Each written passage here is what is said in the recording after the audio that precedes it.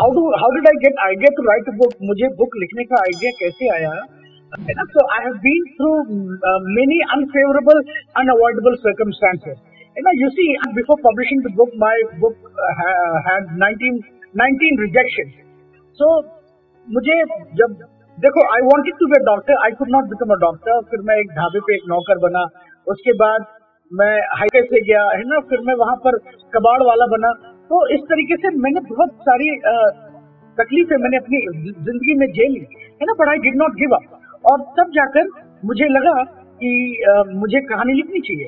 Actually मेरा एक friend है है ना? तो उसने मुझे बोला कि I must write a book because my life struggle can be message to others life उसने कहा कि मेरा जो जीवन है ना जो जीवन का संघर्ष है वो किसी और के लिए संदेश हो सकता है और शायद वो उस पथ पर अगर वो आगे बढ़ेगा तो यकीनन वो शायद सफल हो सकता है। So that is I started writing book now you see I started writing book in 2015 it was March 2015 when I started writing book alright और तब मैं एचपी के प्रोजेक्ट पे काम कर रहा था, यानी कि ह्यूलेट पैकेट के प्रोजेक्ट पे काम कर रहा था as no senior software and content developer तो बुक मेरी तो कंप्लीट हो गई, चार महीने में कंप्लीट हो गई, जुलाई में कंप्लीट हो गई थी, और उसके बाद I was looking for publisher तो मैं अपनी मैन्यूस्क्रिप्ट में भेजता था मेल करता था और कोई रिस्पॉन्स नहीं आता था।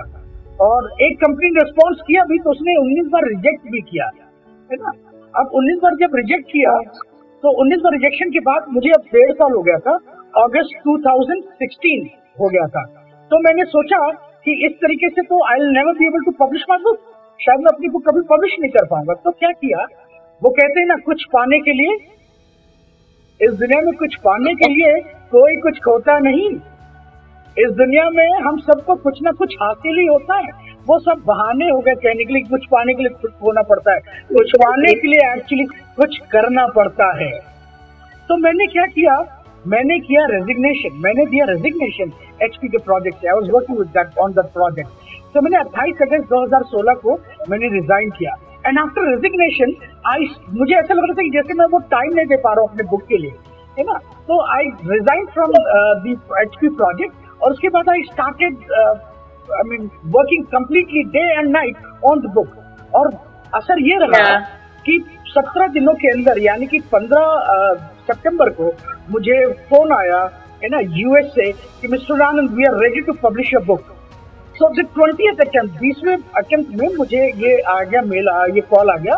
We are ready to publish a book और उसके एक महीने के बाद सत्रह अक्टूबर को रात में करीब साढ़े बारह पौने एक बज रहा होगा जब मुझे कॉल आया कि Mister Anand now you are an you are an acclaimed international author तो सत्रह सत्रह अक्टूबर 2016 को मेरी बुक पब्लिश हुई और मैं तब बना इंटरनेशनल ऑथर तो कहते हैं ना कुछ पाने के लिए कुछ करना पड़ता है इस दुनिया में कोई कुछ खोता नहीं है ना? Now that is a different thing कि कि उसके बाद से मैंने कोई ऑर्गेनाइजेशन नहीं ज्वाइन किया। मैं as a free freelancer work कर रहा हूँ। अब मैं आपको बताऊँ मेरी बुक ये top ten books of 2019 in Asia में कैसे आया? है ना? सितंबर yeah. 2000 अक्टूबर 2016 में मेरी बुक पब्लिश हो गई। मैं किसी कंपनी के साथ काम नहीं कर रहा था और तकरीबन आठ नौ महीने तक मेरी बुक की कोई सेल वगैरह कुछ नहीं हुई। है ना? तो मैं बहुत डिप्रेस था कि अब कैसे करूँ? है ना? तो I started delivering motivational lectures फिर मैंने मोटिवेशनल लेक्चर्स डिलीवर करना शुरू किया। कॉलेजेस में जाना शुरू किया। मैंने बोला कि I want to deliver motivational lecture है ना? वो फ्री ऑफ़ कॉस्ट करना चाहता हूँ जो कि आज भी कर रहा हूँ। तो उस समय क्या आपसे तीन साल पहले मैं इनविटेशन भेज मतलब मैं मेल लिखता था कि please call me your college है ना? To deliver a motivational lecture और उस बिहाफ में मैं अपनी बुक की प्रमोशन कराता था। तो वो आठ नौ महीना मैंने कोई पैसे नहीं कमाया बट आठ नौ महीने के बाद रिज़ल्ट ये हुआ कि मुझे आ, पहला कॉल आया लखनऊ लिटरेचर फेस्टिवल से कि they want me to come down there and to talk about my book वो चाहती है मैं उस लिटरेचर फेस्टिवल में आऊँ और अपने बुक लॉन्च करूँ और अपने बुक के बारे में बताऊँ।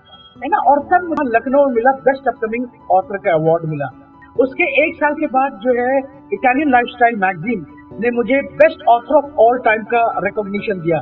उसके एक साल के बाद, यानी कि लास्ट ईयर 2019 में, मेरी book I top ten books of 2019 in Asia and my book was unveiled in Bangkok Thailand और अभी 27 मई 2020 अभी डेढ़ दो महीने पहले my book was listed amongst the best four books on self help तो वो कहते हैं ना, कुछ पाने के लिए कुछ करना पड़ता है, हमें कुछ करना पड़ेगा और तभी हम कुछ हासिल कर पाएँगे, बैठने से कुछ नहीं होता। This is how everybody should move ahead in their life.